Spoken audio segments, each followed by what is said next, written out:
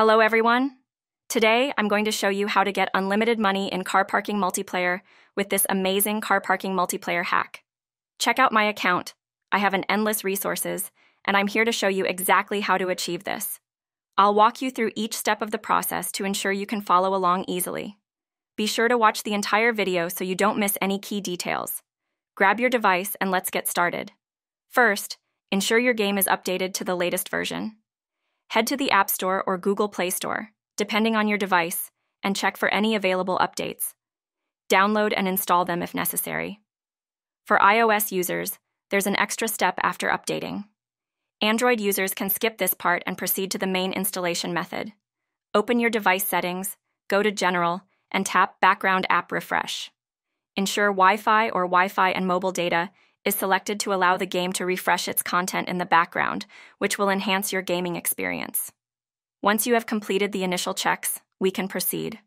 Open your browser and navigate to tweakoapp.com, a trusted site that hosts various modded applications. Search for car parking multiplayer and select it from the results. A detailed page will appear with information such as the number of downloads and community ratings. Click on the Download Now button, and the system will begin downloading and installing the app. This process is quick, and you should soon see a confirmation message indicating a successful installation. If the message doesn't appear, it might mean the server needs updating and additional files need to be downloaded. Don't worry, this step is straightforward with clear instructions provided on the screen.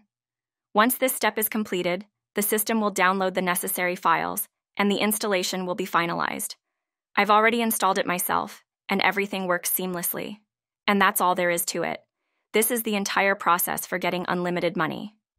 Thanks for watching this video to the end. If you enjoyed it and everything is working well for you, please like the video and subscribe to my channel for more content like this. If you encounter any issues or have questions, feel free to leave a comment, and I'll be happy to assist you. Thank you, and see you in my next video.